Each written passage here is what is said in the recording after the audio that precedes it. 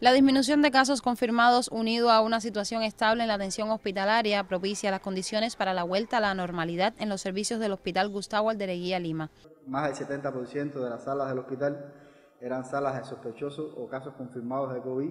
y esto paulatinamente se ha ido regresando y ya hoy todas las salas del hospital que antiguamente eran de COVID ya son salas de hospitalización de las diferentes especialidades como siempre se había concebido. También eh, en las próximas las acciones siguientes que se hicieron, la semana anterior eh, el cuerpo de guardia del hospital, que como todos saben estaba funcionando la parte no COVID, estaba al lado acá de las consultas externas en el centro oftalmológico y en el centro diagnóstico.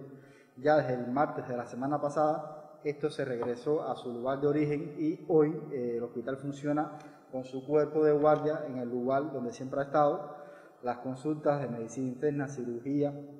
ortopedia, otorrino, máxilo y urología están enclavadas en sus lugares habituales, así como el código rojo del hospital, donde se atienden todas las emergencias y urgencias médicas que asisten a nuestro cuerpo de guardia. El cuerpo de guardia está dividido una parte, antes, es decir, la penúltima vez que se dividió por la parte de la COVID, donde está el cuerpo de guardia COVID, que este se mantiene a pesar de las bajas incidencias que estamos teniendo ahora acá en la provincia, de pacientes que están acudiendo con eh, síntomas sospechosos a la COVID-19. Sobre el reinicio de los servicios operatorios estaremos ofreciendo detalles en próximos espacios informativos. Danae Águila Gutiérrez, Notisur.